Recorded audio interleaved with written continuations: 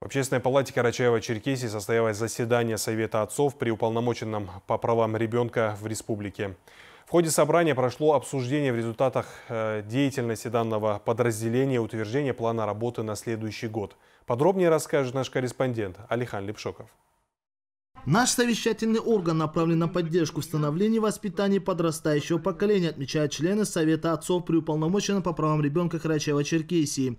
Всех участников заседания поприветствовала председатель Общественной палаты региона Елена Ляшова. Она подчеркнула, что роль отца незаменима в построении общества и сегодня нам необходимо всячески поддерживать данное подразделение. Мы очень рады, что э, они выбирают именно нашу площадку, именно здесь проводят свои заседания. Это говорит о том, что не просто им нужен зал.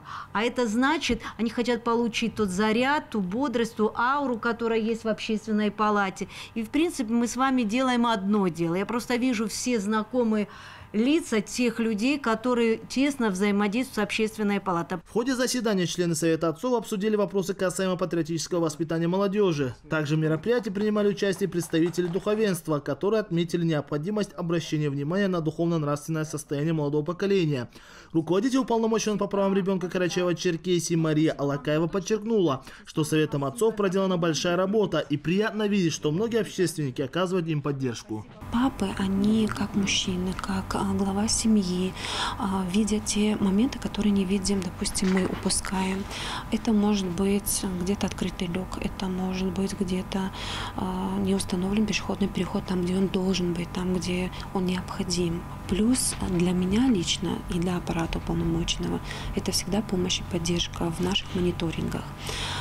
Ежегодно проводятся мониторинги питания детей в школах, кроме того, безопасности детей в школах и оснащения медицинских кабинетов. На сегодняшний день нам необходимо активизировать наших членов Совета, которые находятся в районах республики, и мы уверены, что только сообща мы можем достигнуть наших намеченных целей, отмечают представители данного совещательного органа.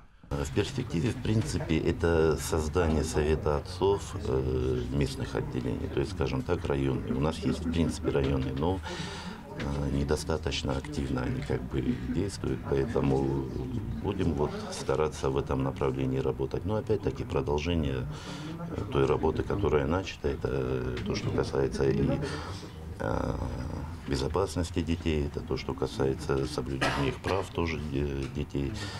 В завершении встречи состоялось подведение итогов фотоконкурса «Мой папа самый лучший», посвященный Дню Отца. В итоге победителями были признаны шесть участников, которые будут награждены ценными призами. Алихан Лепшоков, Виктория Карпенко, Вести Карачаева, Черкесия.